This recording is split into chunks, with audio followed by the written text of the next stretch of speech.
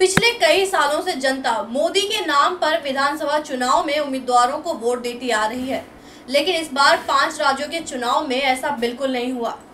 यहाँ बीजेपी की हार हुई। ऐसे में क्या यह कहा जा सकता है कि मोदी का मैजिक खत्म हो रहा है?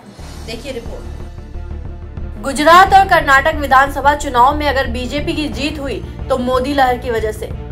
लेकिन हाल ही में हुए पाँच राज्यों में बीजेपी की हार साबित करती है कि देश में मोदी की लहर कम होती जा रही है। आइए आपको इसके पीछे की वजहों से वाकिफ कराते हैं। पहली है जीएसटी।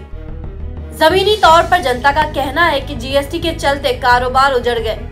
जीएसटी ने छोटे व्यापारियों की कमर तोड़ दी। ऐसे में राजस्थान से लेकर मध्य प्रदेश में मोदी सरकार के लिए इसका गुस्सा देखा जा सकता था, जिसे ज़ाहिर करने के लिए लोगों ने बीजेपी के विरोध में वोट किया। दूसरी वजह रही नोटबंदी। नोटबंदी को लेकर रिज़र्व बैंक के जारी आंकड़े बताने के लिए काफ़ी है कि मोदी सरकार का सबसे गलत और महँगा फैसला था।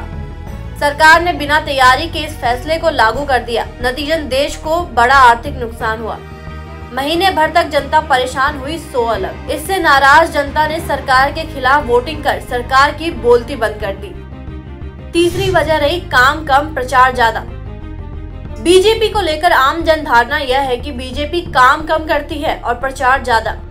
फिर चाहे वो खुद पीएम मोदी हो या फिर विधायक, इस जन धारणा को सोशल मीडिया ने भी धार देने का काम किया है, जिसके चलते यह माहौल बन गया कि बीजेपी काम कम और प्रचार ज़्यादा करती है।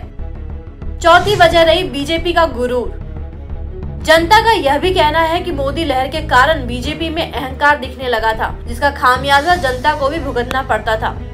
धीरे धीरे जनता में आक्रोश पैदा होने लगा, जिसे इन विधानसभा चुनाव के नतीजों के तौर पर देखा जा सकता है। पांचवी वजह रही कांग्रेस की मेहनत। बीजेपी असल मुद्दों से भटककर कांग्रेस पर केंद्रित हो गई थी। हद से ज़्यादा कांग्रेस पर आरोप और मुद्दों से भटकाव बीजेपी की हार की बड़ी वजह बनी। वहीं दूसरी तरफ़ कांग्रेस थी, जो ज़मीन से जुड़कर अपनी जीत की ज़मीन तैयार कर रही थी। नतीजा पाँच राज्यों में से तीन राज्यों में कांग्रेस की जीत हुई और बीजेपी की हार।